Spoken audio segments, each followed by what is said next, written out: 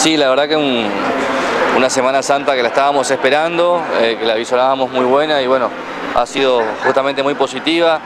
con arribos turísticos en toda la provincia, con aeropuertos funcionando muy bien, con movimiento de pasajeros en Iguazú, que estuvo entre los tres primeros este, movimientos pasajeros del país. Eh, y bueno, y por otro lado también eh, sumar todo lo que fue, digamos, la, dinámica del trabajo de los municipios eh, de manera conjunta, en el cual la oferta religiosa, de turismo religioso, se ha visto fortalecida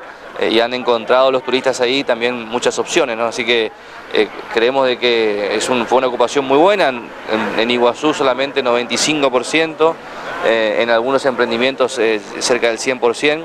Y lo que estamos notando en este tiempo también es que se está sosteniendo parte de esa ocupación, ¿no? por supuesto no a niveles del, del 100% y del 90%, pero sí con ocupación de por arriba de por lo menos el 75% en Puerto Iguazú. No, aparte, nada que ver lo que lo voy a decir, pero sí tiene todo que ver, porque usted sabe que la película Granizo en la plataforma Netflix está número uno en la Argentina, tercero en el mundo, y eso lo que tienen en el pronóstico son las cataratas del Iguazú. Yo creo que nadie se dio cuenta de esto, pero el escenario es cataratas del Iguazú, esto ayuda, esto habla de la promoción del destino, y turismo religioso en todos los lugares se hizo un vía crucis muy bueno, inclusive Iguazú, esto también ayuda a poder incluirlo en la agenda nuevamente después de pandemia, ¿no? Por supuesto, eh, Iguazú es el gran atractivo nacional e internacional que tiene el país.